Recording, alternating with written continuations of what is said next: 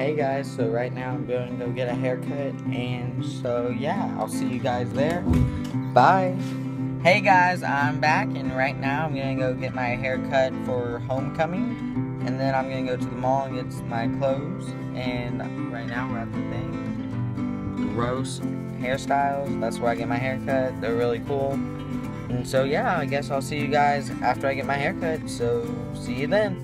Okay, so we're at the mall now, going to go get my clothes, and there's the mall.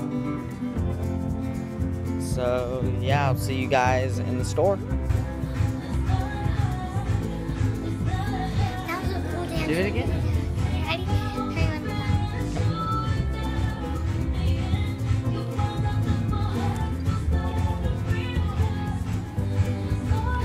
Where do they do them dances from? I don't know. My brother dancing in the store. Okay. So guys, I've done a lot today. I went to the track, got my haircut done. I got my homecoming clothes and me being my fat self got some Krispy Kreme, of course, because that's always the best. Um, my brother was dancing in the store, of course. And yeah, so question of the day.